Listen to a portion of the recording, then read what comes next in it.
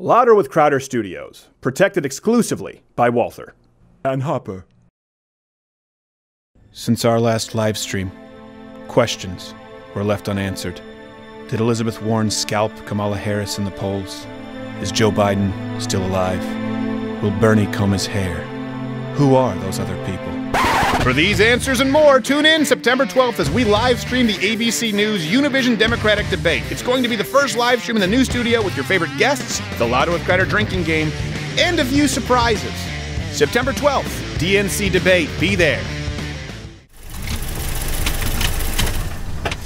Ah, damn it!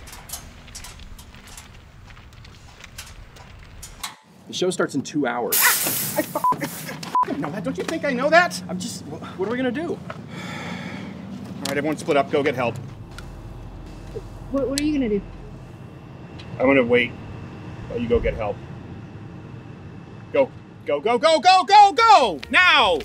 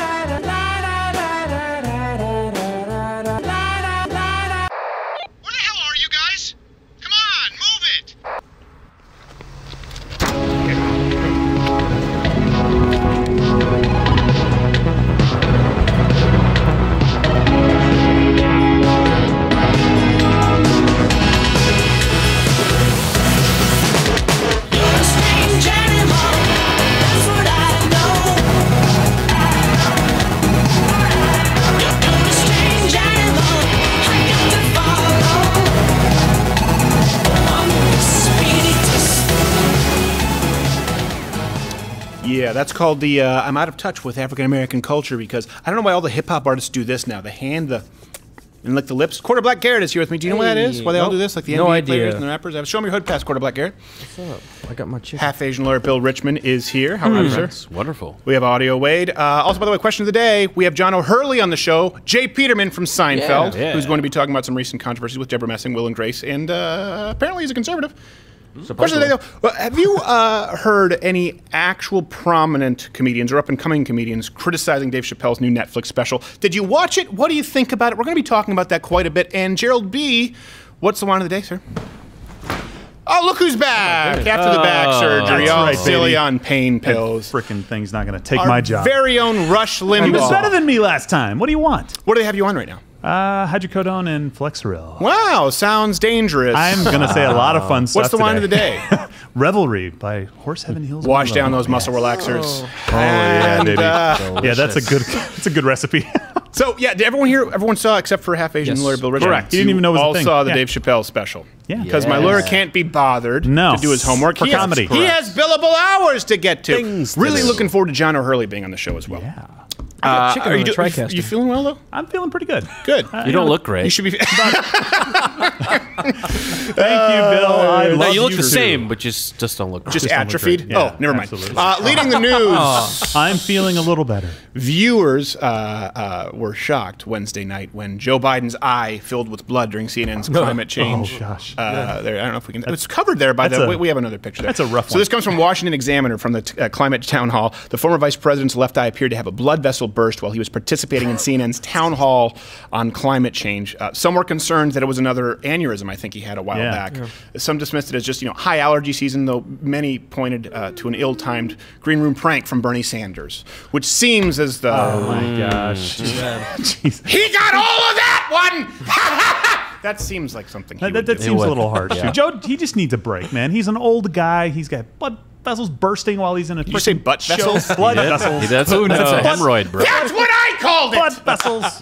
Speaking of Bernie just needs a Sanders, break. Uh, he did declare that if he was elected president, he will eliminate medical debt throughout the country. It comes that's from good. CNS Yeah. News. Of course, Sanders did not give any further details uh, of his anticipated legislation, Of course not. including though how he plans for the canceled all medical debt.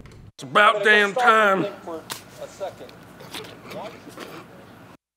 I love the little uh, Lord Fauntleroy haircut. That was nice. so gross. In case you wondered that we were running this on a shoestring budget, Yep. A little bit. You're correct.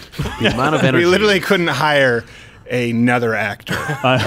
or a replacement We for me last the week, black apparently. guy in a blonde wig. Uh, so hold on, so I want to make sure I understand this Yes. plan correctly. If Mm-hmm. if Bernie Uh-huh. Sanders, if he just cancels the debt,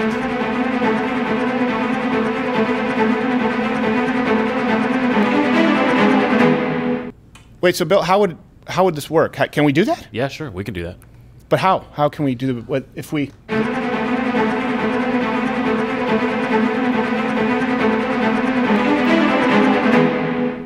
Yeah, I'm not. How do we? How will we go about doing it? Or you just do it with subsidies. Oh, really? Yeah. So if we use subsidies.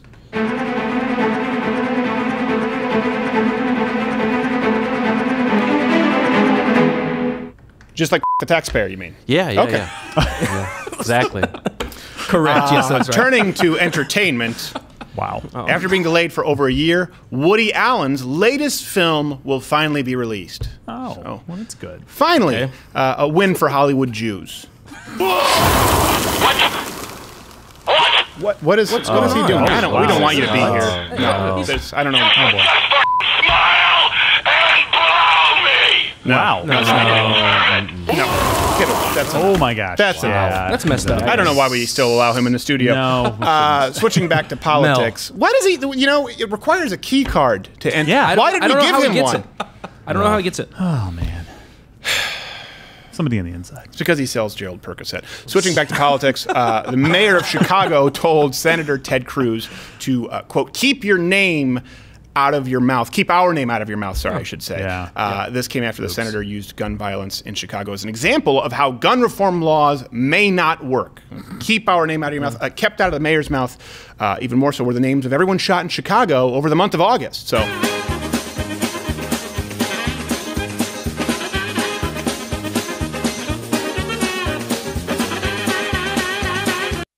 Wow, that. Uh, Oh, that almost looks bad when I'm dead. No, I'm not. When I'm, it's the song is catchy. yes. Yeah, it's a good song. It's a great song. Not It's a good song. that. And Chicago's the best example of gun control and how it works. So we have to be able to talk about it. Yeah. Come on. Yeah, it's amazing. Yeah.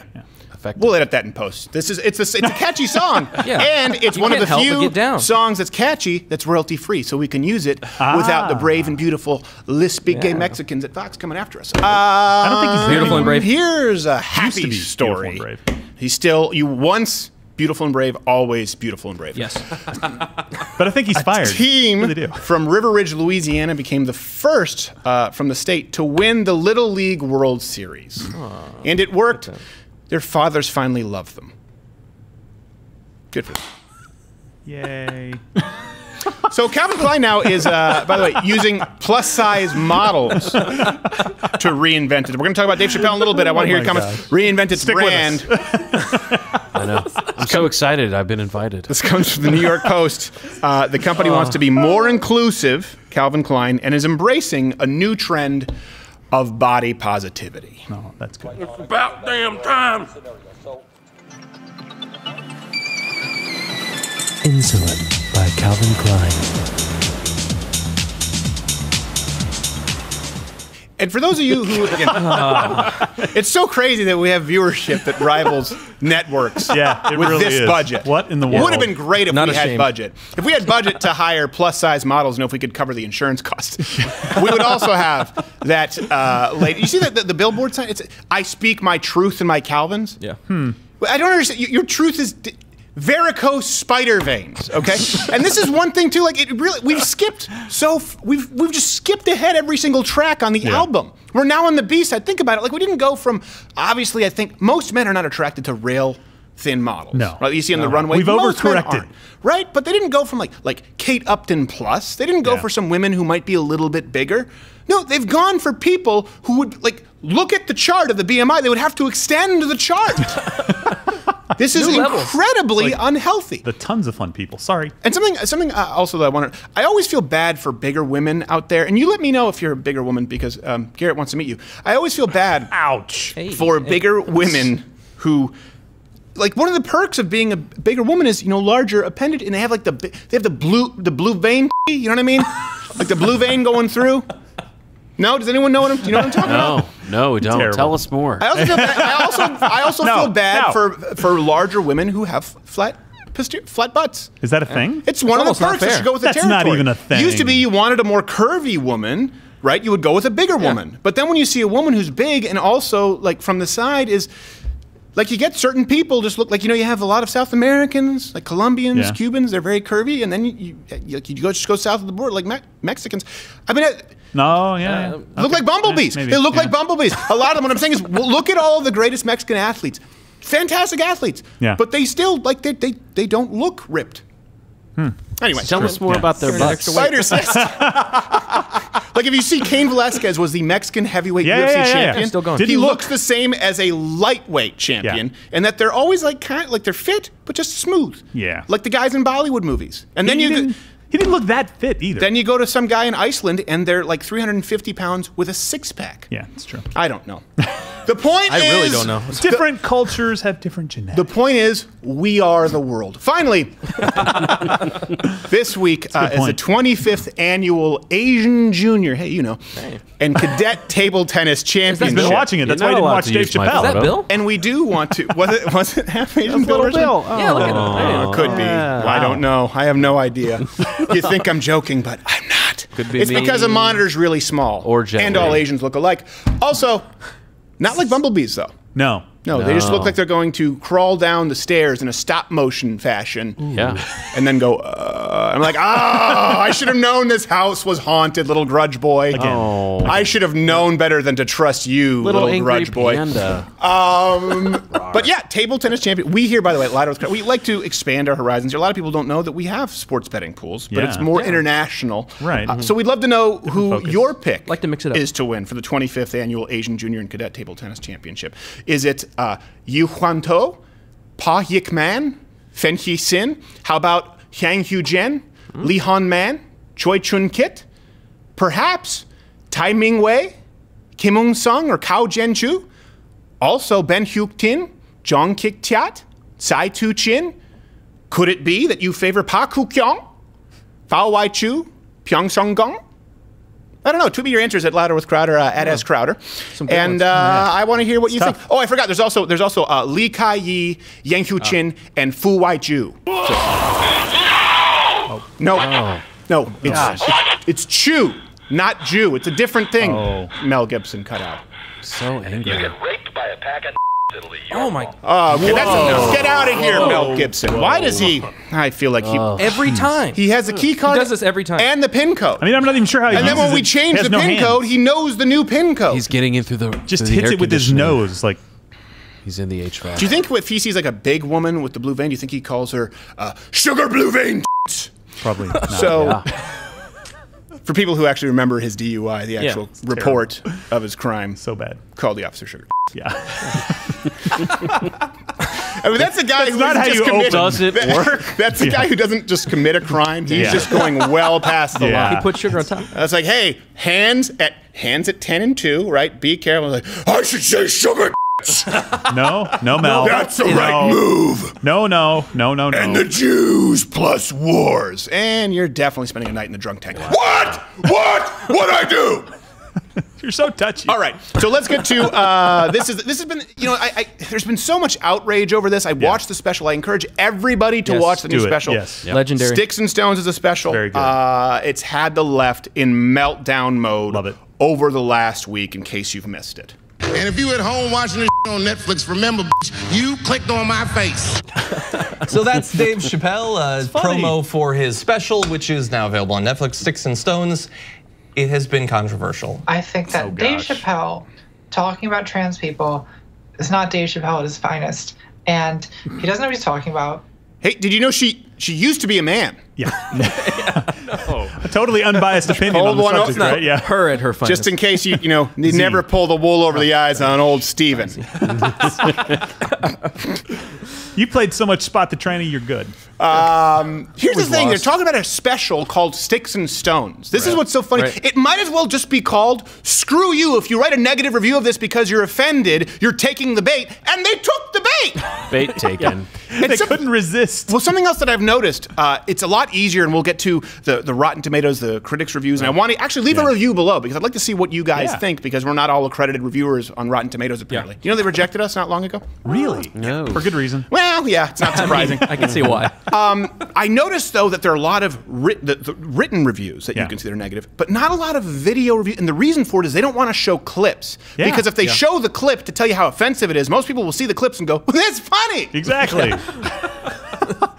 Foiled. Like wrong. You So they can just write about the Yeah, clip. they, they don't want to keep it in the context. They Right. want to No. be able to isolate the language and then scream bloody murder offensiveness and Right. then say, but you d- definitely don't want you to make up your own mind. Well, he just oppresses listen. trans people. Yeah. No, no, the joke is you can never upset the alphabet people. Like, oh, that's Yeah, kind of that's funny. it. And they're like, but they want to tell you he said that we should kill trans children. no. What were you saying there, Quarterback? Well, if you look at the Rotten Tomato score, there's like six people on there. Yeah. And they're all negative. Yeah. Out of all of the people that review movies and TV shows and stand up comedy, where are they? It's Right. Because they think it's funny and they can't say it's funny. And they're like, oh, we're going to get lambasted. Keep, keep in, keep in mind, by the way, uh, Dave Chappelle is explicitly anti-Trump. Okay, Right. pro, relatively speaking, gun control. Pro, sometimes pro-choice. Kind of keeps you guessing. He takes jabs at everybody in this special. Okay, he even headlined a protest against Trump's so-called the Muslim ban. I know it's not a Muslim ban, but for the sake of trying to keep this short, I'm going to say that. Yeah, we'll refer to it as. So then, wh- why the outrage? Right. Uh, basically, it all boils down to the fact that uh, Dave Chappelle jokes about transgenders. Yeah. Which should be fair game. Cancel Done and over. Oops. right away. Totally done. And before we get started, um, uh, we have gotten started. I should say before we continue. I don't know why I just said before we get started. It's like, what have you been doing this whole time? Well, leading up to Longest starting. intro. You're on drugs. Um, nope, just me. He's, he's on drugs.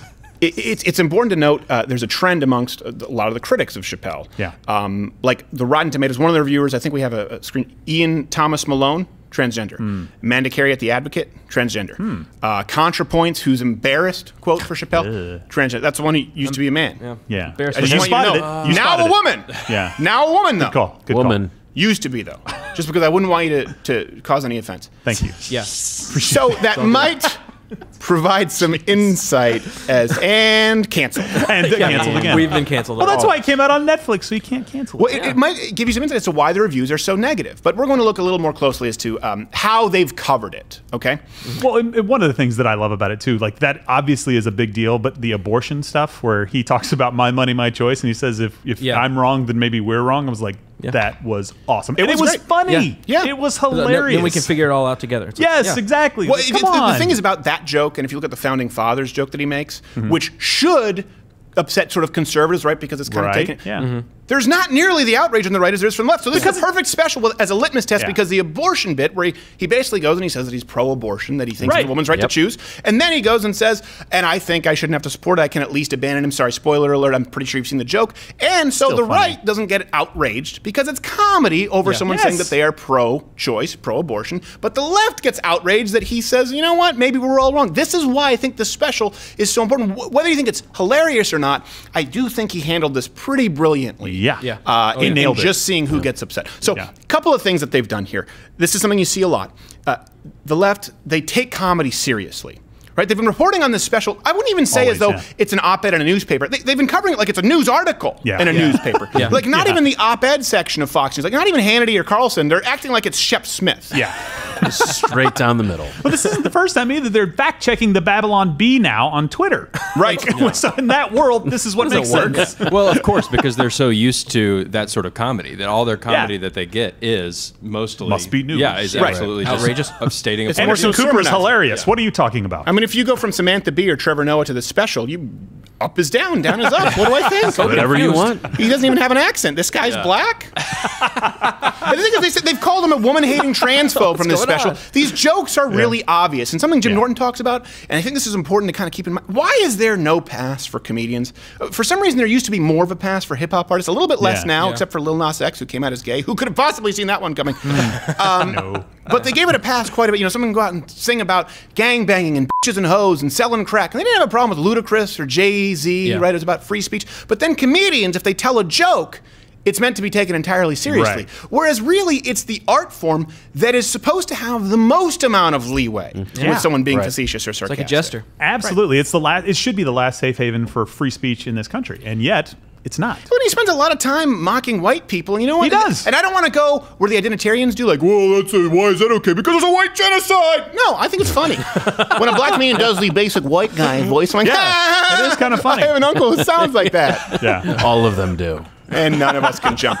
And here's another thing that they claim. They claim that Dave Chappelle is punching down, right? This is why they're so upset. And this is really typical of the left because we've talked about this. Their worldview is predicated on idea of, of societal structure, of classes, of oppression. And by the way, granting the automatic moral high ground to whoever they view as the underdog. That's why Yeah. they support Palestine over Israel, even though they kill children and they target them deliberately. That's why they support people. Uh, Antifa, uh, AOC raises Yeah. money for Antifa, even though they had weapons and they were attacking cops. So they just see you if you're the underdog, if you have less power, then you must be inherently morally right. So in this case, they argue that Chappelle is a bully because he's punching down at transgenders. And lest you think I make this up, I hate that we have to do this. Oh boy. Uh, clip from the Young Turks saying.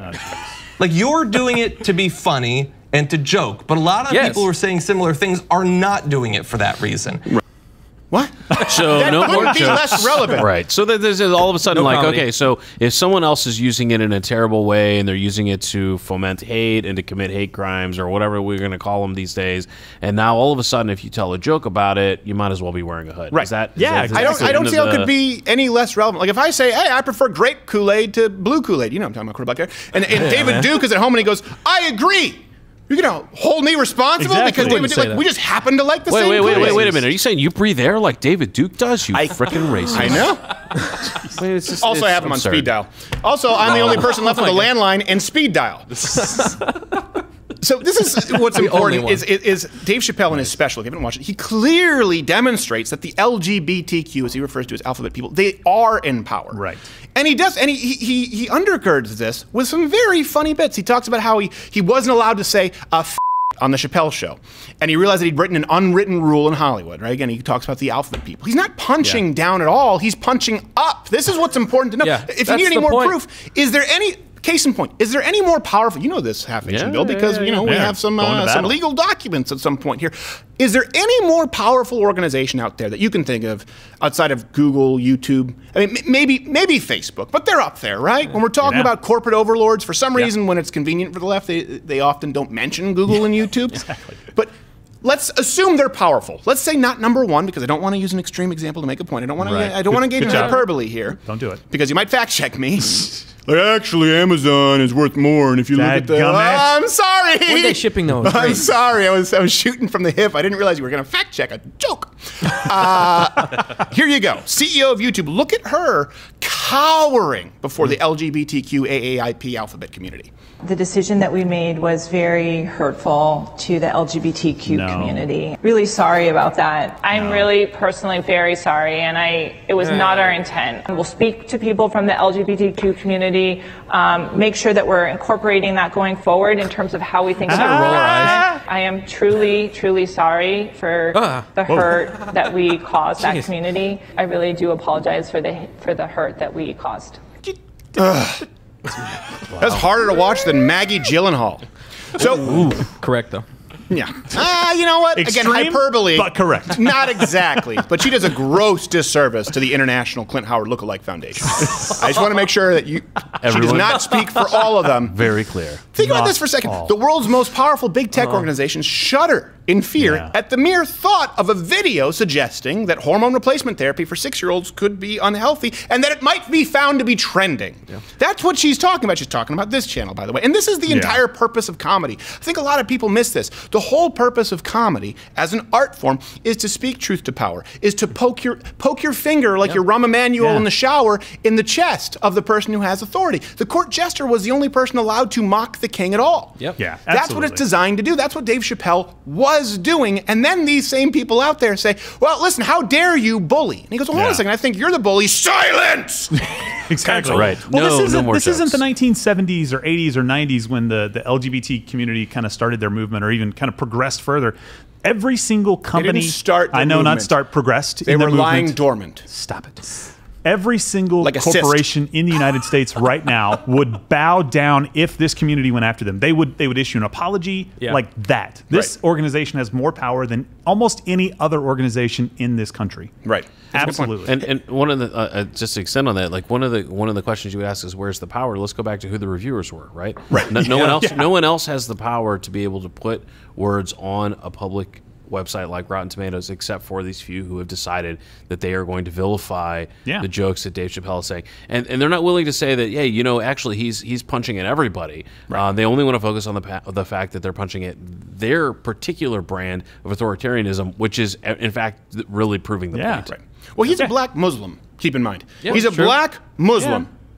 And he made fun And of he thinks trans. He thinks the LGBTQ is kind of weird. and let's be weird. honest, a lot of us do. It doesn't mean that we hate anybody, but he thinks it's a little bit odd. That's what he talks about. That's his greatest crime here. A black Muslim comedian who has largely shaped black American culture for our generation. He's effectively this generation's Eddie Murphy Richard Yeah, Pryor. yeah, yeah. You- it would be tough to argue against that. He just made fun of people who chop off their cocks.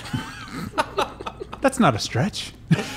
Oh. Reasonable. Didn't say he hated them. He said that's kind of funny. All right. Speaking of which, notification bell, hit it if you're subscribed because uh, apparently subscriptions don't mean anything. Or just bookmark the page. You can check back every single day. That's safer. Uh, join up Mug Club, louderwithcrowder.com slash Mug Club. You get Dave Rubin now. He's going to be Oh, here at the oh, Blaze right, uh, when the show launches. We will give you the exact. It's pretty soon. I don't know the exact Yeah. date. Yeah, And subscribe on iTunes. Uh, here's another thing that they claim too, the left in handling this. And I want to see if you disagree with anything that we're talking about here because I understand this is a little more nuanced. I hate using that word, but it is here. Um, good word. They're also saying, the left are saying that because Chappelle said these things in this special, it must mean that cancel culture is just a figment of your imagination. It feels like a lot of comedians reach that point where all they want to talk about is the stuff that they're not allowed to talk about that they always talk about. Yes. Yes. They're not So- allowed to, even though they do all the time. it's almost as though that's a comedian's job. Maybe. Can you imagine saying this about Lenny Bruce? It seems to me, by the way, he's straight. It seems to me that Lenny Bruce just wants to go up stage and like point, shine a light on societal taboos. exactly. That Whatever happened to point. Phyllis Diller? like I don't. that makes the point. It actually comedians are like the last line of defense, and so if they're talking about this, saying we can't say certain things, that tells you that the the, the culture Yeah. has gone too and, far. And I think this is important to note is, is yes, Chappelle pulls this off because he's already extremely famous.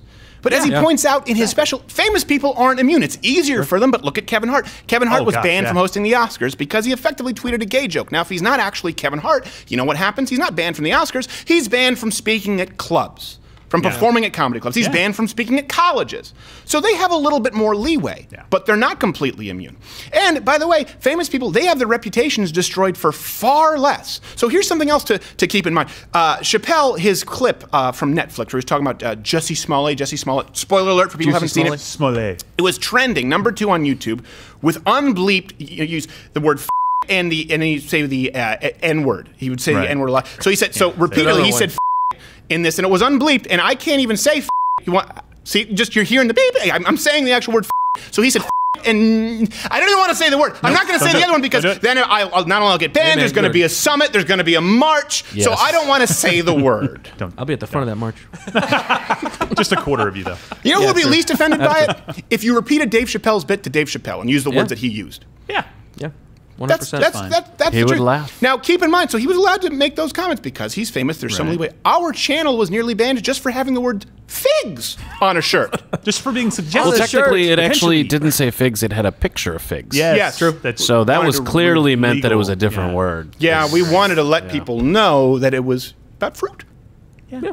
Also, some Things people might, if we didn't have that, people might confuse it for a date. Ooh, that's true. Most people don't know their figs from their dates. So, Dates if you need more evidence, by the way, That can, cancel culture is real. Uh, ContraPoints, the transgender, used to be a man, by the way. Right there, you just watched bashing Chappelle on the Oh, Young yeah. Turks. Is Not anymore. what- Make sure you get it right. means? Make sure you get it right. Not anymore. Trans anymore. from one Oh to gosh. another. It's an I- easy on, can we- mistake. can I need to re-review. Can we go Hold on. back? It's an I easy got- mistake I to make. You're It you- just Was? fir- at first glance, you'd be like, so clearly a woman. Now. So, uh, Is there a pop quiz ContraPoints. ContraPoints was canceled yesterday for Oh, not wow. being woke enough for trans Twitter. there was a Oh, no. cancel culture campaign run against Z, and Z deleted Z's account. Oh my gosh! But there's still look. There's still this lasting damage from people like this who are out there screaming at people like Dave Chappelle and saying you can't joke about this. And it was a hilarious bit. Like Right. the card, like you don't want them to drive. The, that was hilarious. The Yeah. whole thing was so Yeah. funny. Again, the whole thing it was it was a double dog dare you to do what you're doing, and Oh, you're yeah. doing it. You're going. He he thinks we're not. Oh, is this reverse psychology? He thinks that if he said this, we're not going. to Well, we're going to do it. We're gonna we're gonna go right. We'll be right where he wants us. Yeah, and you know all the other alpha, you know all the letters in the alphabet were laughing and saying that's exactly right. It is remarkable to me. This is also something too. Um, leftists they're convinced that um, Chappelle. This is the argument that they finally use. In case you didn't agree, is that he's just out of touch Oh. with the current audience. It seems special, like he thinks Like this guy knows. everyone feels the way he feels, but they won't say it. Right. So and I just don't think that that's the case. the problem A big is room. he thinks that those people laughing in that big room are still how the entire world is, They're- they're and they're close. not. And that Think to about me it. seems like their failure as a comic, right? It's their failure to really listen to their own audience. Woman. Whoa! But think about. He, goes- Forcing he thinks truth. that everybody. What he's basically saying is he thinks that everybody in this theater uh, laughing thinks that's funny. and he's wrong. Or, or somehow, no. I think the other uh, alternative interpretation is that they're saying that every person in the world who thinks this is funny somehow made it into the theater. Right. No Yeah, one yeah. else Yeah, exactly. in the entire all world is in. going Well, to Dave think Chap- Dave that there's even yeah. a single thing to laugh at. Right. Like Acorn was shuttling them in for votes. Right. Yeah, exactly. Yeah, well, Dave Just- Chappelle tours the country. Right. yeah, Yeah. it's not the only and, place. and I bet people still laugh in other places. I would imagine so. They yes. don't just travel with him, dude. Tiny funny is that venues. They're making this argument. people. He's out of touch. Yeah, I guess he's out of touch though. If you look at the Rotten Tomatoes critics score versus the audience, mm. it's almost as though it's the opposite of that. Yeah. we have Oh, yeah. Wow. thirty-three percent from critics, 16,000. Ninety-nine Who's out of percent touch from the That's audience. Waiting for them to remove the audience score. So In re- this is the, this That's is unreliable. yeah, he, he is showing that the left is demonstrably out of touch. So you can contrast that with Hannah Gadsby's terribly unfunny Nanette special. Got hundred percent 100%. on Rotten Tomatoes. Seriously? from the critics. Panned by the public, only forty percent. Did you see that's one where she goes? There's Yeah, nothing funny about self-deprecation. self-deprecation is self. Humiliation. You're a fat lesbian Australian. Self humiliation is the only card you have to play. That's all you got, lady. Don't take it away. Many cards. I say this humiliation is largely the only card I have to play. Is she New Zealand? I have no idea. Australia? Maybe. We Who don't cares? know. One I'm an those ignorant two. American. I don't of all of two. them together. Well, you know what's New funny? It's like uh, the idea of, uh, or, or we're going to go ahead and say, uh, oh yeah, it's fine. We're gonna we're gonna lump in this idea of what you decide is funny, and if I don't think it's funny, then no one should think it's funny, and if you think it's funny, you're a racist. Yeah, exactly. Or, And yeah, it's a like, bigot. how- I mean, Right? How many? I mean, could you imagine if a conservative was to go to a black Muslim comedian and say, "You are a racist"? They would, the, the, the left would go nuts. Well, this is what they, Yeah. what they did with conservatives. They would say you were racist, right, if you didn't vote for Barack Obama. So now they Right, have a black Muslim comedian who is married to an Asian woman, by the way, and they can't. Sa- but now he has done exactly what conservatives have done, and he's not conservative. He's a liberal, No, yeah. uh, Dave Chappelle. And I'm not using the word leftist because I think he's one of the few people who is deserving of the title liberal. He's more classically liberal. You can be pro gun control and still not be a part of the anti-free speech outrage mob, Right. and I think that's Dave Chappelle. So remember that next time he does something that you disagree with conservatives, don't doggy pile on him or try and get him banned. Just say, oh, I didn't agree with this one. I didn't like the special, Right. and move on.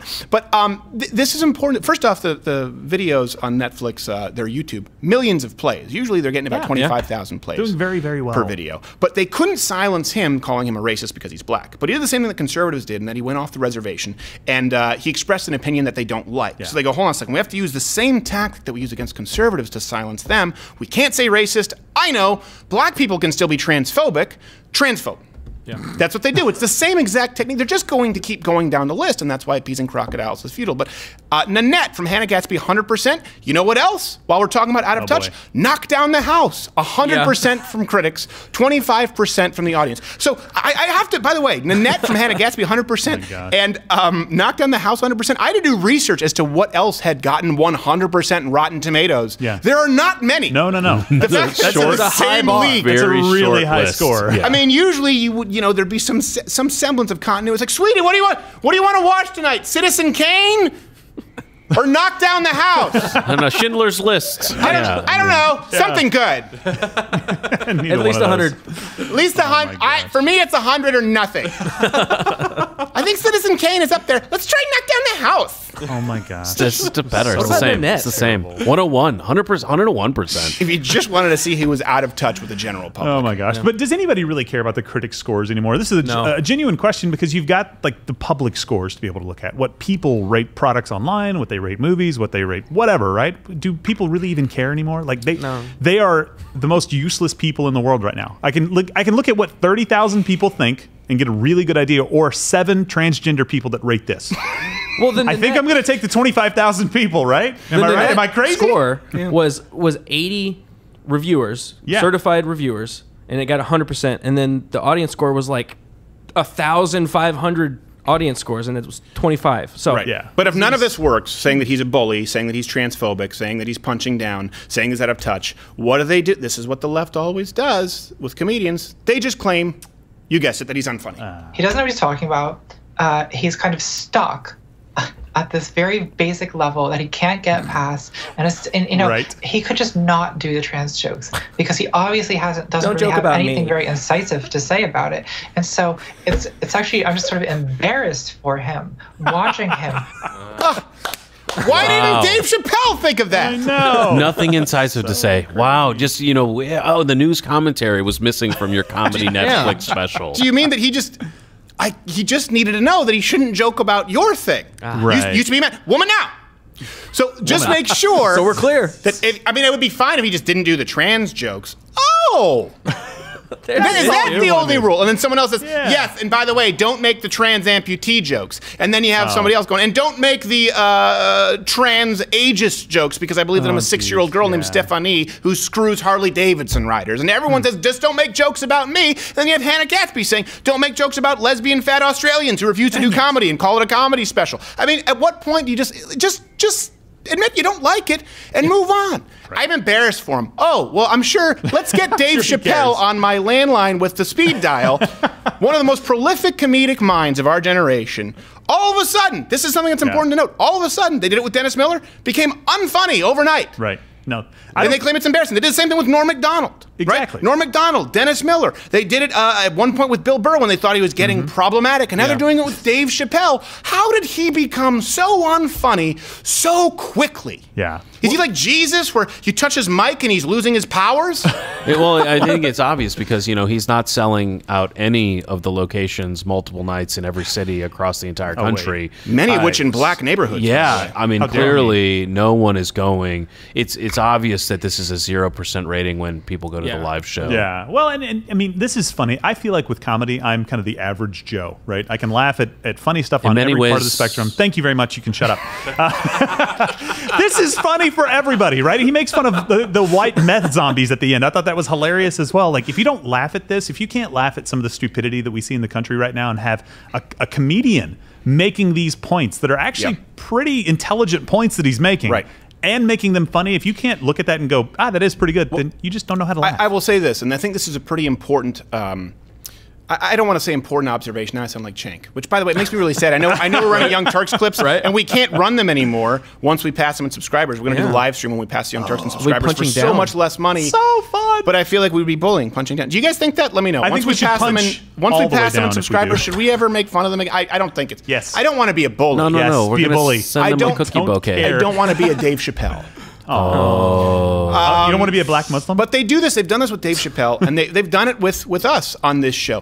What they try to do when Be they say this person isn't funny, they separate the actual joke from what offends them. Right? They did this with when they go, well, uh, what Stephen Stephen Crowder claims it's jokes, but I don't think that uh, calling someone uh, uh, a lispy gay Mexican is a joke. Well, that wasn't the joke. That's what offended you. The joke was go watch the apology video. That's 20 minutes long of jokes. That's not the joke. Like with Dave Chappelle, the joke about people driving, the the, the gays Yeah. driving the car, and trans people making the ride feel like it's way longer than it needs to be. That's the joke. You were offended by the fact that he made fun of transgenders. So they say, well, I don't see the joke in uh, making fun of transgenders. That's not the joke. You're separating what offended you from what the actual joke was. And that's why they don't want to run the clips. And here's a general rule uh, that I use when it applies to anything, jokes or commentary, right? If you extend the clip that you see that typically generates outrage, extend it 30 seconds in either direction. It'll usually go one of two directions. If you extend it, it's either less offensive or you understand the point to it or it gets worse. For example, remember Yeah. we did that joke about Christine Blasey Ford? Yeah. Uh, the authorities still uh, what are considering a distinct possibility that she's a, a lying whore was the joke. Yeah. Yeah. Well, the Young Turks, I hate, I know we can't use them anymore once we go surpass them, but that So live stream soon. is going to be a lot of fun. Yep. Um, when people extended it 30 seconds in either direction, what they saw was that we used all of the evidence uh, as the setup, and the punchline was that Yeah. police officer and people said, "Oh, you know what? I don't even necessarily agree, but it's it's really not as offensive as you make it seem." Now, if you extend it, for example, someone saying that I don't know, I like seeing American war heroes getting killed in Iraq, and we deserve 9/11, you go, "Oh, what's that? That sounds bad," and you extend it, and it's just them going, "Seriously, I effing think we deserve Yeah. 9/11. Yeah. Seriously, I effing hope this guy gets taken out by jihadists." And you go, "Well, that I ex- I." Provided more context, it's almost like it's worse. I Give you a when little more rope. I, that's a rule that I use. Separate what offends you from the actual context and content of the joke, and then whatever it is that offends you, give it more context. Give it 30 seconds in, e- in both directions. And then if at that point you're not sure, give it a minute in both directions. It's usually pretty easy to find out where they're coming from. And there is nothing sadder, while we're talking about this, than watching woke leftists explain comedy to one of the greatest comics of our time. I think Yeah. that's what bothers me about this so much right now. Is this this uh, this more this sermonizing? This vir- and I hate to use the word virtue signaling. We do have to get to John O'Hurley and a little bit. J. Peterman. Let's assume, though, that the left is being genuine. I always typically assume that they're being genuine. Let's assume that everyone is actually offended and genuinely hurt by these jokes. Okay, here. How about this? You don't have to find it funny. You just have to acknowledge that it's comedy. Let's start with that. Start with that, context over content, and then maybe we can find some common ground. Otherwise, it's just point scoring. Don't have to find it funny. Just admit that it's comedy. All right, uh, John O'Hurley, J. Peterman coming up right after this. We have to go. Mel's not around, is he? Nope. Thank God. Oh, there-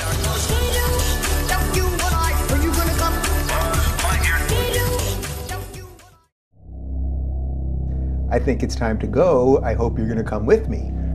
From the network that brings you Louder with Crowder. People I truly admire and respect. comes a man who goes by many names. Straight white supremacist, neo Nazi, alt right racist, sexist, homophobic, Jesus, Voldemort, Optimus Prime, Kylo Ren, Falcor. Secretly a conservative. Who also happens to be gay. You see what just happened there? I just played some identity politics, didn't I? The Rubin Report is coming to Blaze TV. We're trying to talk about big ideas in an honest, open way. That's it. Yes, that is it. Subscribe to Blaze TV through Mug Club today, where not only do you get this show, but apparently you get Dave Rubin now too. So that's cool.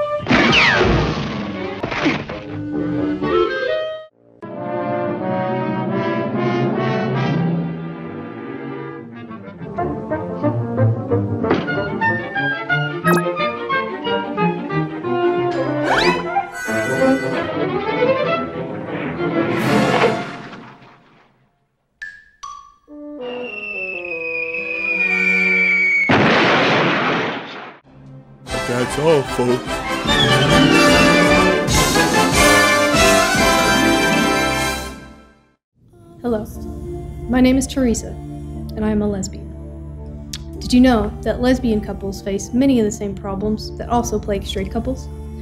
This ranges from petty family squabbles all the way to domestic violence. In fact, dyke on dyke crimes occur at even higher rates than straight couples living in rural areas.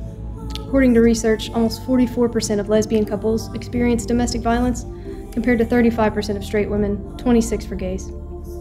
Not to be a Debbie Downer or anything, but I was actually slapped by my girlfriend on the way here. It's time we put an end to this senseless violence by providing shelter for victims in well carpeted rooms.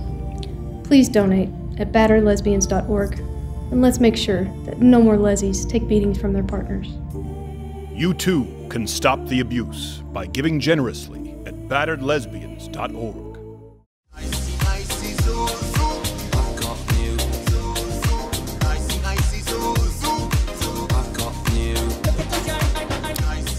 Now, Quarter Black, is he? What is he saying in that Nicey song? nicey Zuzu. That doesn't make any sense. It's from a TV show. It's just sound bites. It's you know. who does he think he is? Bob Dylan? Makes no sense. Uh, our next guest, I'm absolutely thrilled to have him on the show. You know, I've talked about some guests that I've wanted for a long time, and then some guests where I just go, "Oh my gosh, if we could get get him, that'd be great." Uh, because one of our producers, and now I'm going to let the cat out of the bag. You know, Brendan. He was back there and he's looking at the monitor. He goes, "Wait, is that J. Peterman?" That's what I said when I looked at the I said yes. And he's, I said, did you not look at the guest list? So he's fired. But it's flattering to our next guest him. because uh, everyone knows who he is. But he's, he's done so much, obviously. His his show, uh, uh, Man with Standards, is a solo show actually right now. He's going to be performing at uh, Feinstein's, uh, at Vitello's. Feinstein's at Vitello's, I think September 20th, 21st. He can correct me if I'm wrong there. Um, you know him potentially as J. Peterman on Seinfeld, host of many different shows, including Family Feud, the National Dog Show, which I want to talk to him about. I watch it every single Thanksgiving. He's what you call in the industry uh, not a triple threat because he's more than a multi hyphenate. Uh, But uh, Mr. Mr. John O'Hurley, how are you, sir?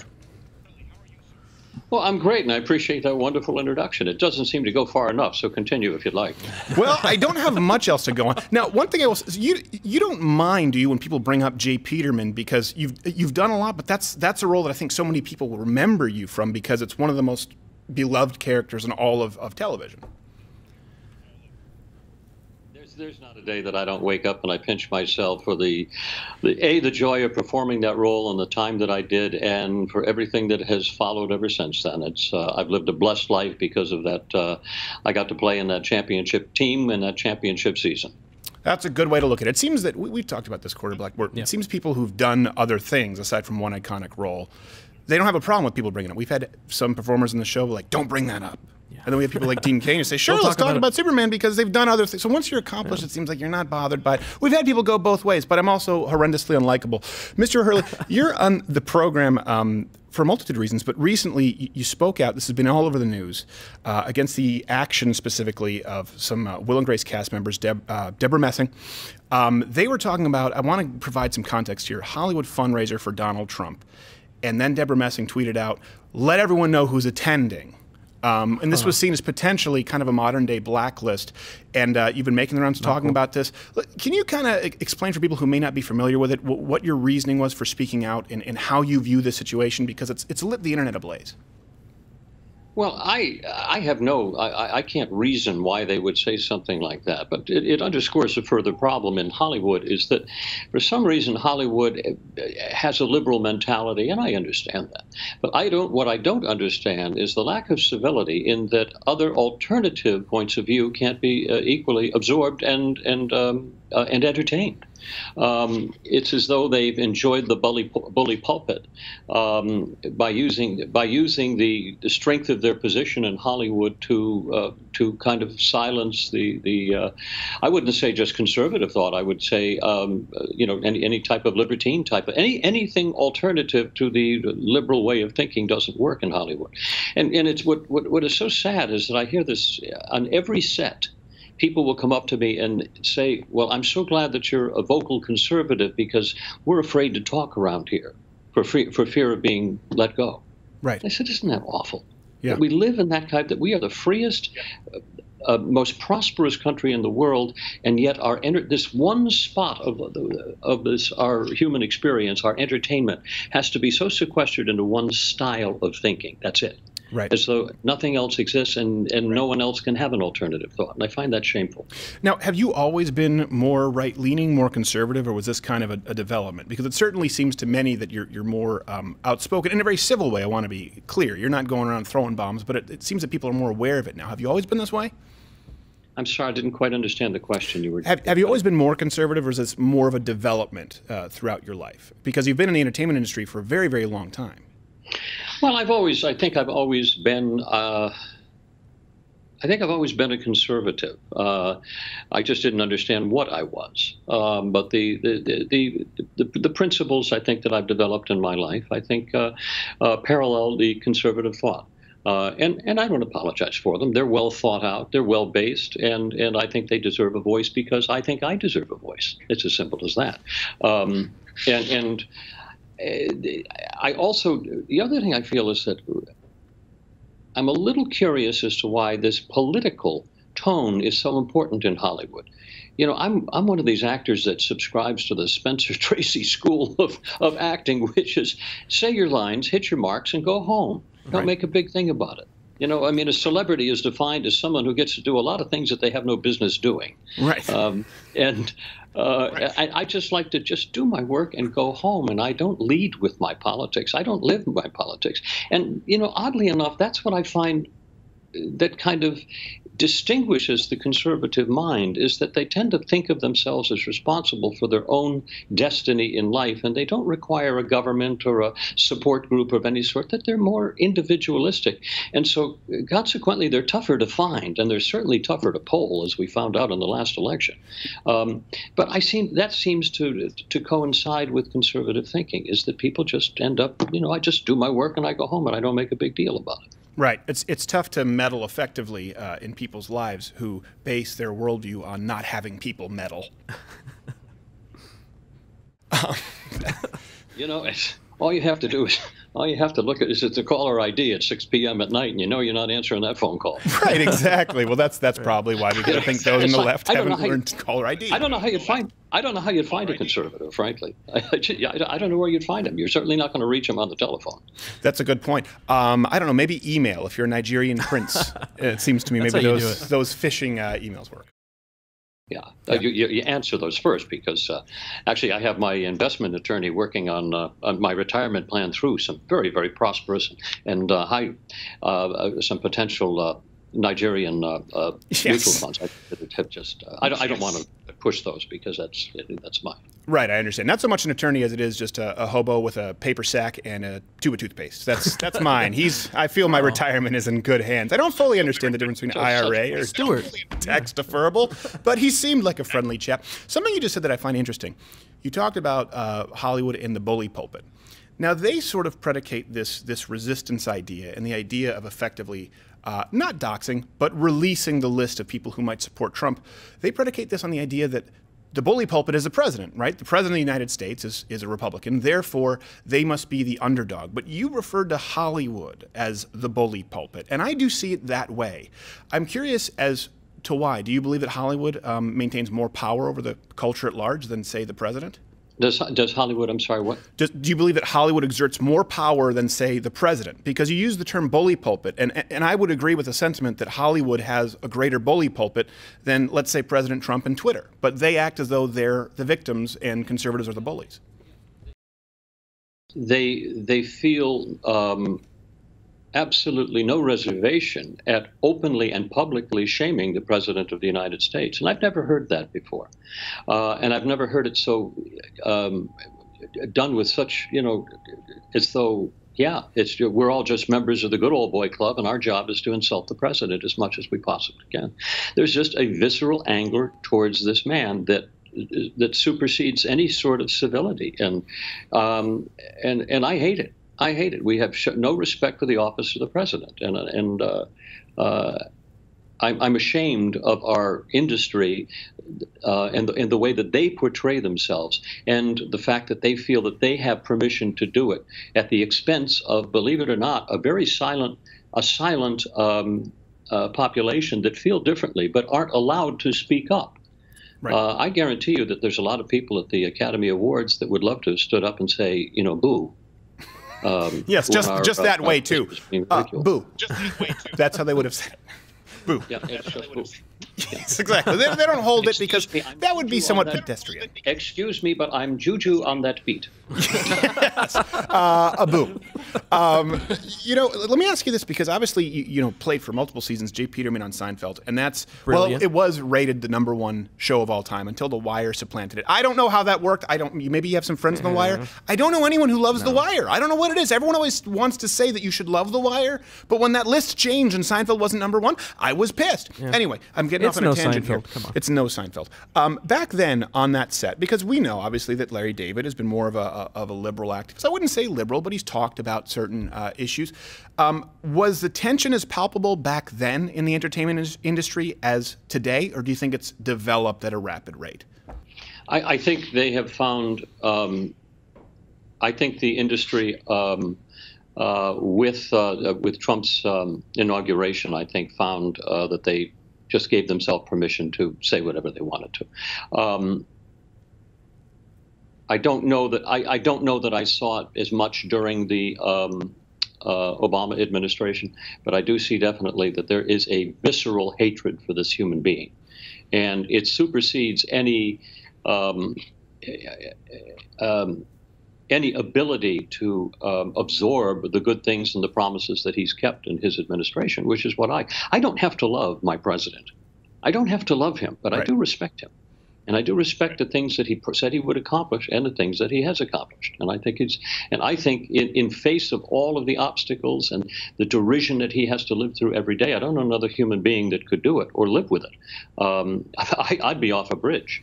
Uh, if I had to go through what he had to go through every single day, but uh, he has the mentality and the temperament to, to and, and the thickest skin I've ever seen on a human human being, uh, and he's able to um, to function outside of it.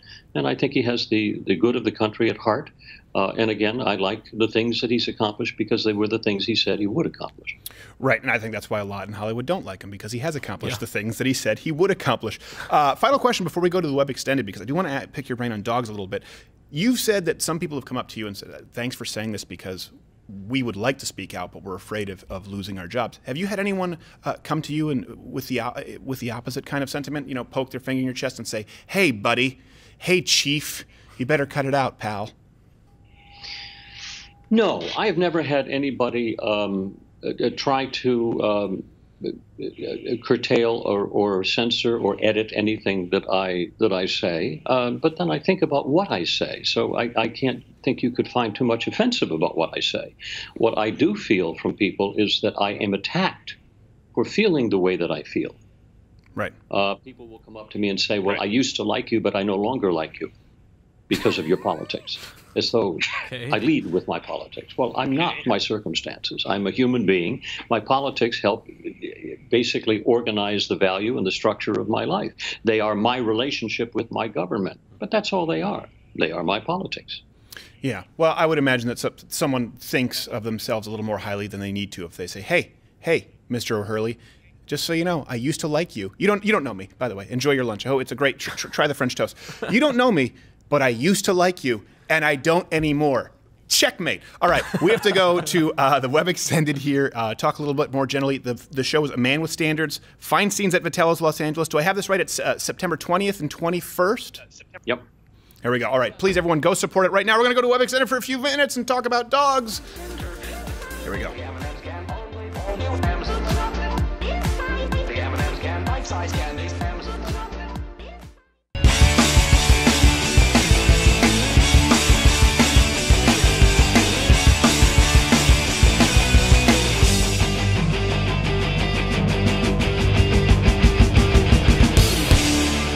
Your photos or videos of you doing something awesome with your mug at S Crowder to be featured as Mug Clubber of the Week. Let's all go to the merch shop. Let's all go to the merch shop. Let's all go to the merch shop and buy ourselves some swag. Snazzy clothing and swag to buy at louderwithcrowdershop.com. Like this new signature baseball tee, or these Ranger panties, or of course, the Holy Grail itself, Mug Club. Let's all go to the merch shop and buy ourselves some swag.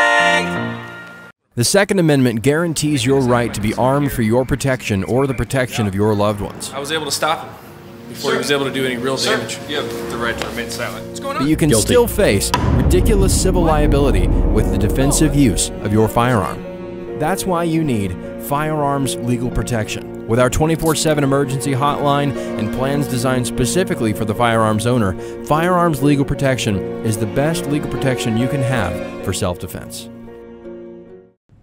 Hey, it's time for that one live read of the week. I know it's obnoxious. Louderwithcrowder.com slash mug club. I'm not only here to tell you about our wonderful hand etched, painted, girthy mug, but a lot of you don't know that like 70% of our content is actually exclusively available on Mug Club. Uh, and it's the only thing that allows us to continue content on YouTube. So do join up $99 annually, $69 for students, veterans, active military. It's the only way to support the content and support Dave Rubin, who is now going to be available uh, for everyone at Mug Club. At the Blaze, you get the entire Blaze TV catalog. Everyone there is really at the forefront. Uh, it's the premier network fighting for free speech and entertainment and just trying to create content that at least doesn't feel like a sucker punch when you go to bed at night like the late shows. So louderwithcrowder.com slash mug club. It's the only way we keep the lights on. That sounds more destitute, but it is. If you don't join Mug Club, we'll, we'll probably die.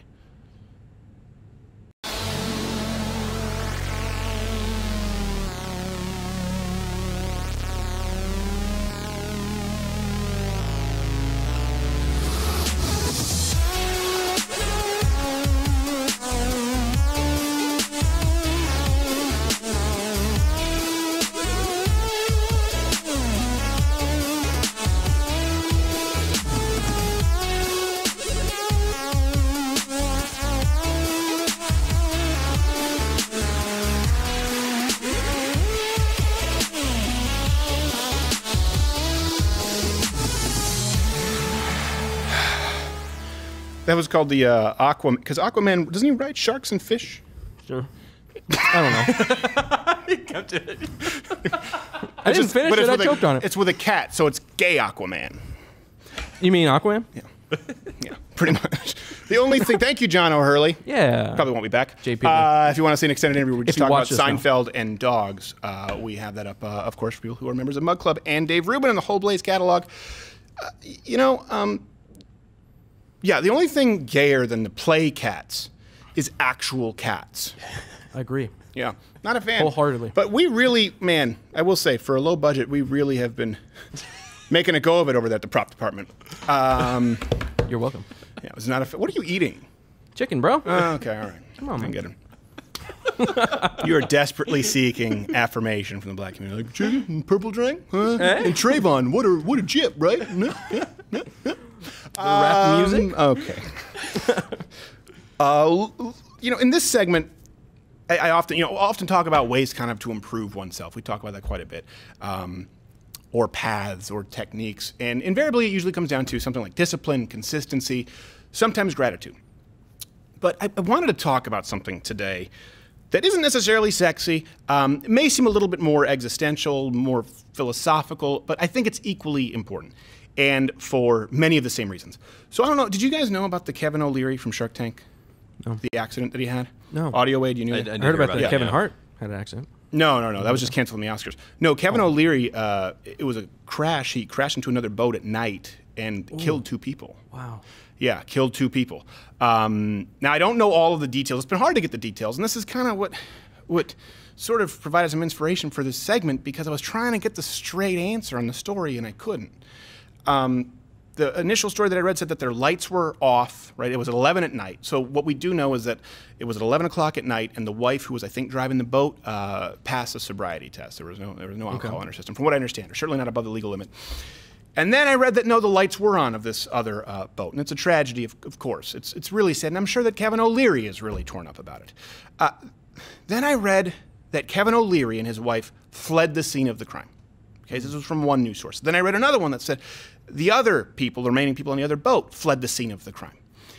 And then it turned out that both of them had technically fled the scene of the crime, but they both went to shore to immediately call for medical assistance, and there were phone records for that. And the reason I say this is because um, or, or the reason I talk about this, I bring it up, is because I think sometimes we're always looking for someone or something to blame. And sometimes there isn't somebody to blame. This is a really unfortunate, as best I can understand it. And I know some things might develop here, so don't hold me to this because I don't have the full story. None of us do yet. Um, it's an unfortunate accident. It's really unfortunate. Certainly, some mistakes could have been made. Certainly, there could have been some carelessness involved. We don't know. It doesn't seem that way right now, but no one's a villain here. No one's a bad guy here. And sometimes we're looking for answers. And I know this is really unpopular to say. We talked about this on Ash Wednesday this week for those who are Mug Club members, uh, talking about the, the, the school shootings, the mass shootings, what we need to do with gun control. You know what? Um, there aren't any answers necessarily. Are there some solutions that maybe people can come up with? Are these conversations that we can have? Absolutely, to see how we can improve our current situation. I think we should always be striving towards self improvement. But the idea that we have answers right now, that anyone has the immediate answer to solve the problem. I've heard people say, well, we have, we have more guns than anywhere else in this country, and that's why we have the suicide problem. Oh, okay. So do we have the top suicide rate in the world? No, we don't. We have more guns than any other. We have more guns than Somalia per capita. Do we have worse violent crime than Somalia? No, we don't. So what's the solution? Taking the guns out of the hands of people who aren't committing suicide in record rates by global standards? Or taking the guns out of the hands of law abiding citizens who are not committing mass piracy as those in Somalia? There aren't necessarily any answers. And we're often looking for a villain, right? We're looking some maybe someone who sold the guy the gun. Maybe we're looking for somebody, or Dan Crenshaw with AOC, who might have lent a friend a gun, right? How could you do this? AOC said. Do you know that that your friends who are borrowing your gun are more than likely domestic abusers? That was an actual tweet. Think about that. More than likely, most likely domestic abusers. Where'd you get that, AOC? And then we want to talk about common ground, right? Well, hold on a second. You just assumed that this person's friends are all serial felons, violent felons who beat their wives. You're going to find common ground? After trying to vilify somebody, what you really mean by common ground is you actually want someone to agree with you. You just want to beat someone into submission, whether it's Dave Chappelle, whether it's Dan Crenshaw, or myself. And so what happens is they try to vilify somebody because they always look for someone to blame. And we all do this, by the way. A lot of people act as though we're super separated from politics. We hear this a lot, like, ah, I just don't like the division in politics. You think that only happens in politics? Have you ever been to a Thanksgiving dinner? You can see, have you ever been to a wedding? You can see people line up on one side of the dance hall and then people line up on the other side of the dance hall. This happened most recently at a wedding I went to, but that's, they were easily recognizable because they were Mennonites. But here's the thing we're always looking, it's, it's a reflection of ourselves, politics. It's human nature. And all human beings are looking for a villain, they're looking for a boogeyman, they're looking for a scapegoat. Sometimes that's not the case, and it's an accident. Here's what I'm going to tell you. Because of that, because we understand that, because we understand the condition of human nature, err on the side of forgiveness. No, it's not sex. Now, obviously, I'm, I'm, I'm a Christian, so I believe in forgiveness. It's built, it's built into the faith. Okay? Atheists out there, tantric yogis, stay with me anyway. Not only should you err on the side of forgiveness because it's right, because you'll probably make fewer mistakes, but it's also good for you. It's better for you. I can honestly say that, right? I can't think of a single person uh, th- th- throughout the entirety of my life who I wouldn't forgive right now they asked for it. And I know, lest that sound like virtue signaling, let me tell you something that's a real flaw of mine. I find it really hard to forgive people who don't ask for it. People who've wronged me or people who've hurt me, if they were to apologize, the easiest thing for me to do, my instinct is to forgive. I'm typically a pretty empathetic person. But forgive someone who doesn't even want it, forgive someone who doesn't even think they were wrong, ooh, that's hard. So, which action is the right thing to do when you're in this scenario? Let's say the Kevin O'Leary scenario to go back for. Okay? Which action do you think would lead to more personal happiness, fulfillment, your own personal salvation then? Uh, to spend the rest of their life looking for someone to blame in the face of a horrible tragedy. It's completely natural. And I'm not saying, by the way, that you just forgive and forget someone who actually beat your wife or, or, or raped your daughter. Of course not. There still needs to be justice. That's not what I'm saying. I'm talking about forgiveness in the sense that we go through with our in our day-to-day lives and the, the, the hate that we and I don't mean hate in the anti-LGBTQ because you mean an alphabet people joke, but actual hate that we harbor in our heart toward our fellow man. Let me, let me ask you this. Why should you be disciplined? We talk about that a lot. Why should you be principled? Why should you be consistent in your endeavors. Why should you be grateful? Because it's the right thing to do. It will also improve your life immeasurably. Often they go hand in hand. Sometimes doing the right thing is really hard in the short term. In the long term, I tend to believe that it'll improve your life. The same can be said for having a forgiving spirit. Do this. Think of someone right now. Think of someone who's pissed you off, who's wrong. You've been clinging to it. You've been grinding your teeth. You've been ruminating on it. Okay, I want you to take a second here. Think of that person. You got. We all have them. Could even be your your, your, your pre-kindergarten teacher. My bleep it, bleep that because I don't want her watching this. But that's a story for another day. All right, have you got the person? Got them in mind? Now let it go. Forgive them and, and this isn't some kind of a new age thing where I'm going to be playing binaural delta beats. Forgive them, move on with your life. Move on to the discipline, the consistency, and taking all of the other steps that we've talked about that we know and you know will lead you to a better life and a better self. But you can't do that. You can't take those steps to improving yourself unless you get past yourself.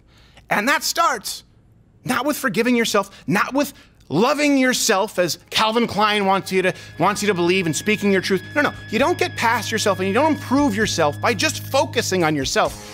You get it through serving others.